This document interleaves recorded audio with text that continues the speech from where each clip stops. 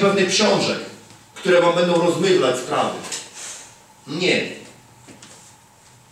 Pastor między innymi e, po to jest w kościele, aby nadal, powiedział ludziom, pewnych rzeczy nie rusza. Nie dlatego, że Cię nie kocham albo że Cię kontroluję, tylko dlatego, że one zaszkodzą umysłowi Twojemu. Przyjaciele, podróżujemy tyle lat po kraju, ewangelizujemy, docieramy do ogromnej ilości ludzi. Przyprowadzamy setki ludzi do Jezusa. Widzimy, jaki jest stan Kościoła też. Widzimy ogromną ilość ludzi w kościołach chorych psychicznie. Rozumiesz? Oni naprawdę są chorzy psychicznie. Mają chore umysły. Umysły przytępione i chcą, żeby im ustawicznie usługiwać. Tu nie chodzi o to, żeby nie usługiwać ludziom. Mamy usługiwać ludziom i to robimy. Ale moim marzeniem jest to, żeby ludzie w Kościele, w Polsce powstawali w światłości. Żeby to było światło. Rozumiesz?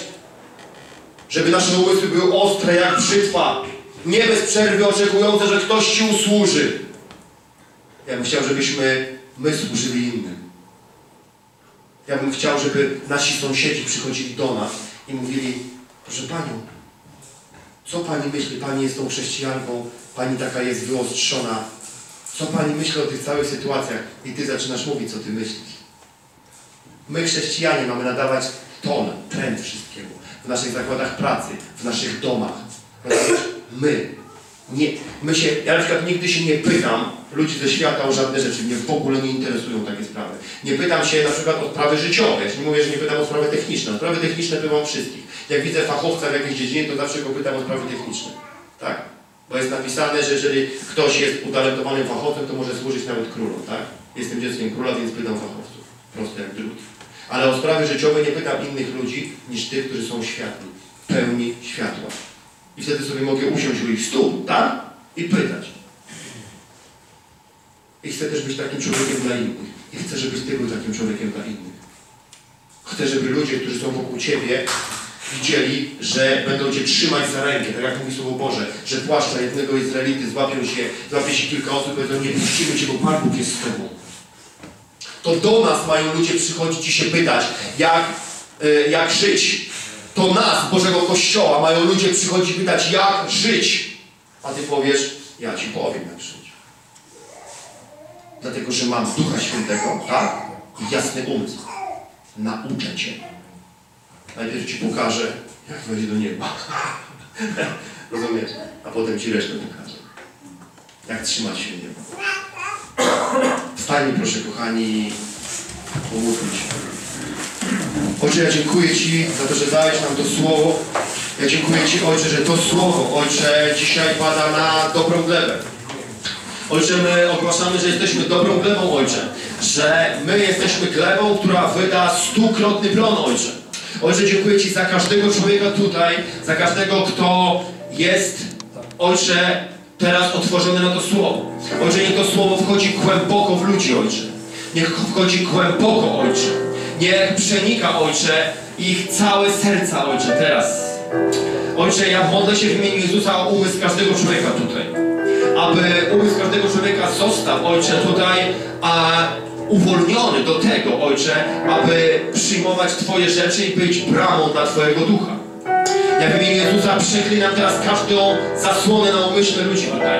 Ja przeklinam w imieniu Jezusa każde przytępienie. Ja w imieniu Jezusa przeklinam w tej chwili każdy problem stojący na drodze rozwoju umysłowego. W imieniu Jezusa. Ja przeklinam każdą troskę. W imieniu Jezusa. Każde załamanie, każdy stan depresyjny. W imieniu Jezusa. W imieniu Jezusa. Ja przeklinam wszystko to, co w starym świecie, w starym życiu wpłynęło negatywnie na umysły ludzi tutaj. Ojcze, ja mówię światłe umysły. Umysły, które są bramą ducha. Ojcze, w imieniu Jezusa. Ojcze, ja modlę się teraz do tych ludzi, aby każdy z tych ludzi przyjął od Ciebie, Ojcze, teraz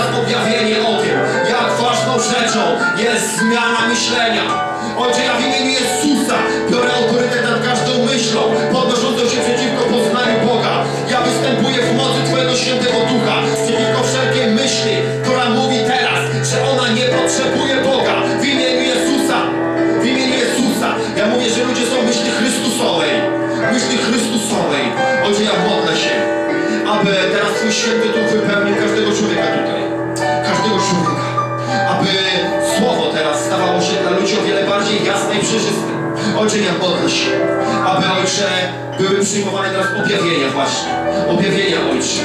Niech umysły będą otwarte, niech umysły będą czujne, niech będą skwapliwe Ojcze.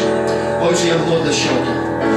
Maketoro loszy kebene patene sika pade denia kama nache koszo ko roho kori pare leży bene bene kori nacha was Szema na padre delike ni uno muszy kare bene dworu Holy Sabre, Lady Jesus Holy Sabre, Ojcze Niech ludzie przyjmują teraz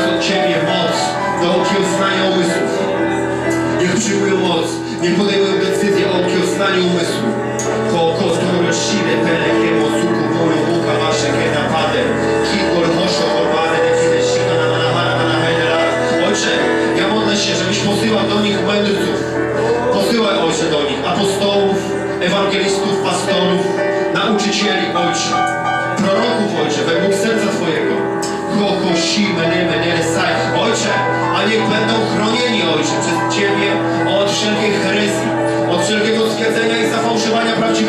chrześcijaństwa, Ojcze.